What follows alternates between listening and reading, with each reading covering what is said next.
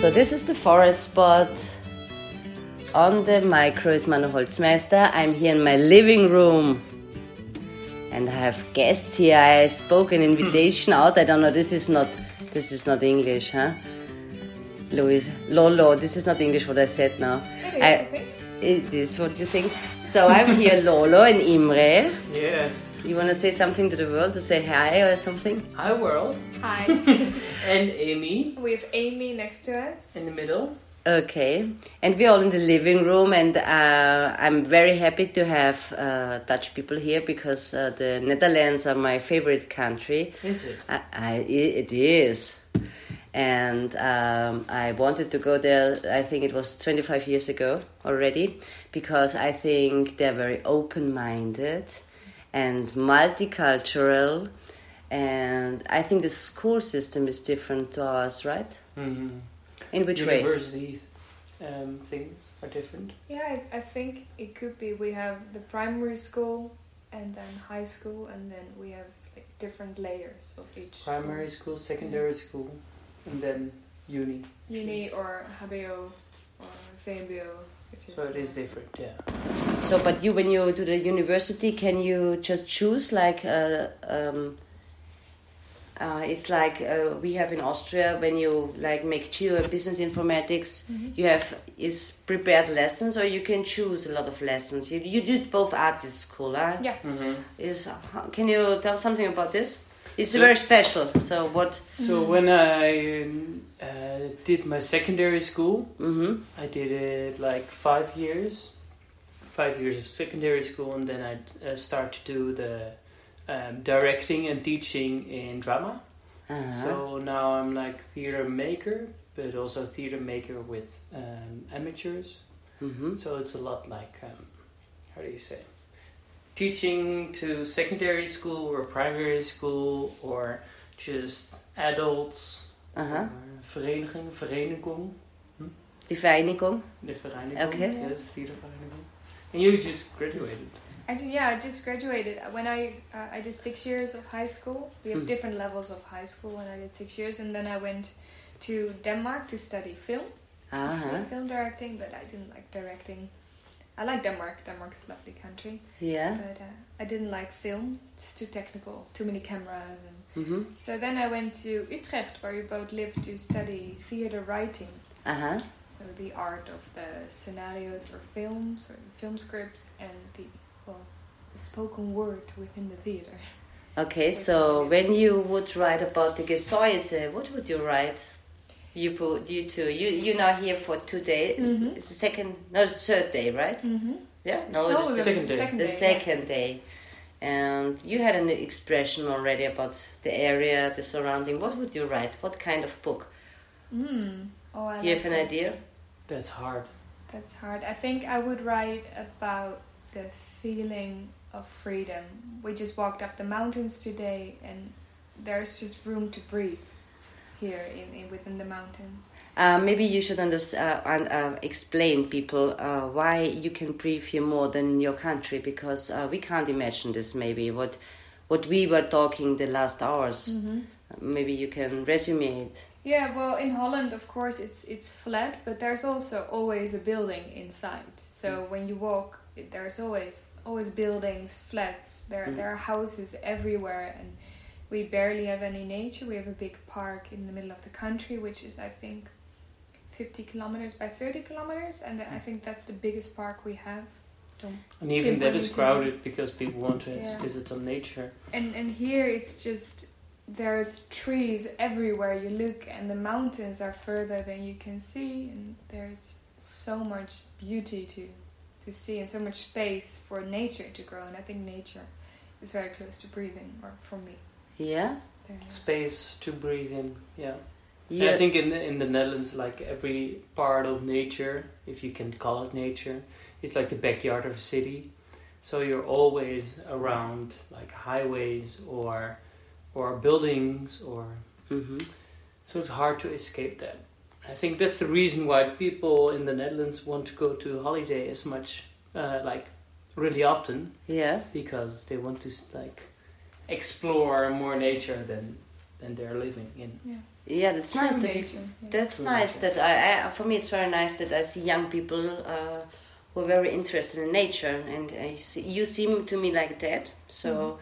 I always loved that. That's why I made this experiment with my renting now. So can you also explain how you feel in the tent? You sleep in the tent here in my garden. How do you Mhm. feel sleeping in this tent? I slept lovely, really lovely. Yeah, you had loads of dreams. I had a lot of dreams. yeah, yeah, that's true. I just um, Lolo wa- wo- woke up and he said, uh, she said like, oh, let's go out, and I said, no, I have to categorize, categor- categorize my dreams first. Yeah. okay, okay. I just said that. I don't know why, but I had many dreams, um, and it was. It's actually nice to sleep in a tent when it's um, warm Yeah. because then it's um, less. You can breathe more than in a hotel, for Mhm. example. Like two days we were in a hotel and we couldn't breathe that much because Mhm. it was so warm and it was close to a way, to a, like a highway kind kind of. So you hear the You uh, cars. you have been to Salzburg, right? Salzburg, Yeah. yes, yeah. Um, we talked about Salzburg. Salzburg isn't very busy now. You said, as as Mhm. I know it, it's very crowded actually Mhm. this season. That's And- true, but there were still cars also Yeah. in the morning. So you, we woke up with cars, and here it's like you woke up in Yeah. silence and the crickles maybe the crickets. Church. Yeah, church bells. Yeah, the church bells. Yeah. Um, Lolo and Imi asked me why everybody says here "Grüß Gott," and I said this is because why it's very how do you say dominant the church here in this Mhm. area. It always was. Mm. Um, for you, it's strange like that to be like a very Yeah. Catholic. How is well, it? now it is strange, but like 50 years ago, it it was still everybody was Catholic or Christian because my m- my not my mother, but my father was raised up uh, Catholic, yeah.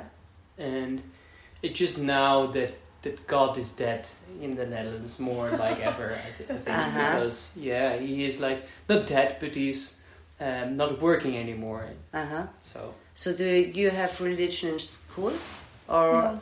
Well, you have Ethic. Catholic uh, primary schools, but the only thing I I went to one, and the only thing I had to do was like sing a song on Christmas, okay? and, and that was it. I don't think there are many people who believe in God, and if they do, it's only like Sunday church. But there Okay. are no. When we walked into the church here, there was a, a priest or someone or a monk in the Mhm. In the original clothing, and we saw a lot of them in Salzburg too. Yeah. How is it Never seen you? one in in Holland. no, Even the priest is just walking around his like. But it's not denim true that we're don't have the religion in the Netherlands, but we're from like big cities. So you're Mm. raised in Am or like uh, you were born in Amsterdam and you Yeah. grow up in Nijmegen. I'm Mm. born in Utrecht and live now in Utrecht as well. Um, but in the smaller cities, for example, I lived with my mother in, uh, for four years, five years when I was younger in a smaller city, and all the people there are very religious. So Mhm. in the small small cities, small villages actually, people Mm. are still religious. Are still religious. It's like Admont here, I would say. We Yeah. have the Bible Belt. Yeah. Bible Okay. As well, yeah. So this is the Forestpod. What do you have? Do you what, what ideas do you have uh, for forests in, in the Netherlands? your young people, what can could the government do to grow more trees or to make a better nature? Or because you you you you said you feel crowded and you Mhm. how um, do you want to tell the listeners how old are you both? 24 both. 24. Yeah. 24 both, so you're very young, and uh, maybe you get married and have kids. Uh, what would you? Eh, it ca- Yeah. could Yeah. be, or you stay Could be. together, had kids, or you don't mm. stay together, or you have another partner and have mm-hmm. kids, or you don't have kids, but doesn't Many matter. options, yeah. Imagine you a couple and have kids. What uh, what do, would you wish for your your kids or for your future, for the nature? What could the government do when it's so crowded in the Netherlands? Do you have an idea?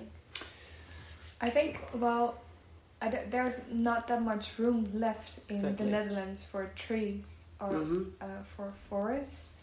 So I think it will be very hard to, to grow more um, forests, especially because the nature in Holland, we have a lot of uh, heide. I don't know the English Heide for is the same in Austria, That's so they- Heidenlandschaft. Yeah, that's what they call the natural Dutch landscape. So they Mhm. cut a lot of trees to have the natural Dutch nature. With cows yeah. and like, yeah. But I think uh, what I saw in, I think they do it in Indonesia or in Malaysia. or no, it was Singapore. Doesn't on matter. That, on that side Yeah. of the. They made a, a full a full city um, with uh, gardens on top of the buildings Mhm. and plants involved within the buildings and the decorations. So the whole city with seven million people was as green as a forest would be, but with houses underneath. Yeah, this would be nice, and that huh? would be Mhm. really nice for the Yeah. eye, for the It's- for the air. Mm-hmm. And I think we're already there. Like people start to think greener, start to think ecological, start to think in that way. So, for example, Rotterdam, because Amsterdam is very historic, but Rotterdam was bombed in the Second World War. Mm-hmm. So that's a pretty new city, and that can be really like greener, for Mhm. example. And I would say when I got kids, um, I would say we got like a vacation house, or we go on Mhm. holiday many times to much more greener parts. Mm-hmm. We live in the Mhm. Netherlands. Maybe you live somewhere else as well, but But how can you relax then? Because when I go, I'm very when I'm stressed or I can't focus, so I go in the nature or in the Mhm. forest. So how do you do this then? Well, go to a forest as well. Yeah. They're just not that big, so you run into a lot of people, Yeah, but Yep. there are still trees. yeah. And there is still lakes and water and You go there also. Yeah, so Yeah, it's not that there isn't any forest, but if you go in here in the forest, you see like four people maybe. Yeah. But if we go into the forest, you met like hundred people or eighty, you know. So it's pretty crowded. It's pretty crowded. And my father lives on a living boat. I told you just, and there you can swim, for example, in the Yeah. canal, and it's pretty uh, de-stressing, pretty relaxing. I this would is say. uh, also this is nice also. So Yeah, you have many garden. ways to okay. to relax. yeah. And I think what's different in Holland is that our cities are very small. So we take our bike, and within 15 minutes we're outside of the city Mm-hmm. in nature. Well, the couple of trees and park that we call Yeah. forest. So It's, it's uh, very quick to get away from the city, even though the city is crowded, and the next city is 30 minutes bike ride away. mhm, There's a little 10 minute bike ride through the nature mhm. and, and trees. So I think we can get away. I saw many nice places in the Netherlands. I was, I think, 15 times there. Mm. And I left the dunes and the sea and the park. I like the Vondel Park in Amsterdam. I Mhm. was lying there, sleeping there, uh, chatting with people there. Uh, so I think it's a very nice country. Um, but I can understand when you said you have 16 millions, you said? Uh, Yesterday, 17 million. 17 yeah. million on which, uh, on, on the half square meters of Austria, that is, it's crowded.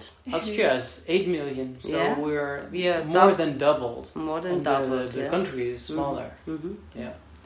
So, what is the wish for the world, for the forest, for the nature? What, what do you have an idea? What you now? A lot of people are listening. Listening um, is something in your heart. What you want to tell the world about the nature, about the environment, about the forest, about eating, whatever. Stop cutting down the trees. Yeah, and stop polluting the world as well. Yeah. Yeah. And just relax and enjoy it, but also don't um, don't suck it too much. You know, just leave the trees as they are, but enjoy them. Oh, okay, yeah. And Yeah. Lola, I, Yeah, can, I can get very passionate about this question because I, I feel like we tend to use the world for our own good instead of enjoying it and letting it be how it's supposed to be. hmm Um, so I, I do hope that we stop cutting down trees just for uh, food for the animals or well we don't have to eat all those animals who need the food but we need to cut down the trees and Yeah, so you think it so should be also a change in the way we the the amount of meat we eat also I, in I this do way, really yeah. believe that, but Mhm. I think when it, I d- I'm not opposed to eating meat because when I was younger, I would eat meat, and but we would have a cow that would Mhm. live in the Netherlands, and we would just get half of the cow, Mhm. which had lived there for many years. Mhm. So I, I do think that we have to rethink of the way we live in this world Mm, as more of a definitely. cooperation instead of a we use the world, but we have to cooperate with the world a little bit more. Yeah. Exactly, and we don't have to s- let the money speak. You know. Yeah. And to be fair, I think it would help if we would get educated a little bit more about nature. So take Mhm. as a kid, take what, what you do actually take trips to the forest and see what's around you and Right. Yeah. and and actually see it, not just learn it in a book, but but go watch the birds and. There's crazy things happening in, in Yeah. nature that we can't Mhm. even think of. hmm So instead of have a biological class in the classroom, go outside. You hmm know, go explore and experiment Yeah. and smell it and feel it instead of learn it. Yeah. Learning by doing, right? Yes, yeah. learning by that's doing. a bit In away. all education. Yeah. for me, Right. like Yeah. it's the learning by same. doing. hmm Because all of the parts in the world I've been to, I've always been amazed by how nature is growing, is Mhm. working, and what what it does. hmm Mm, Yeah, and animals as well. It's like it's amazing. I think we should respect it a bit more. Yeah. So yeah, that's And what we can I also use it. We can use it. We can use the nature. That's everything is in nature already. hmm You mean as an inspiration? Yeah, as ideas and- inspiration or material or anything. Like we make so much artificial things now, but Mhm. it's already in nature. It It's, uh, it's already there. So Yeah, we can only yeah. use it and and give something back to nature. We Mhm. only use it now. We don't give anything back. And Yeah. it's. With with these nice words, I want to end Mm. because the podcast shouldn't be longer, so people are falling asleep. Of they say of so. Uh, It's a perfect end. Thank you very Thanks. much for uh, coming to me. There's a next guest coming in. You can come in. We are an open podcast. Uh, I hope more people coming and make uh, joining the Forestpod experience in my garden. I'm happy that I have a lot of people here because I'm not traveling. And I don't need to travel because all the spirit is coming to me already. the travelers are coming to you. The travelers are coming to me a different kind and bringing me the German influence and the Netherlands, uh, uh, the Netherlands uh, Dutch influence. So, if you want to have further information, you can check out on the www.forestpod.at or on www.manuelaholzmeister.com. I hope you follow me up. Bye bye. Thank you.